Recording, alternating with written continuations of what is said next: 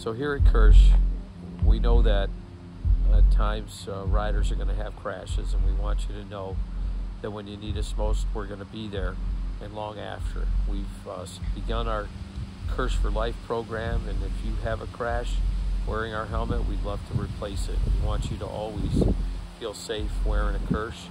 We want you to always be a KIRSH helmet for life.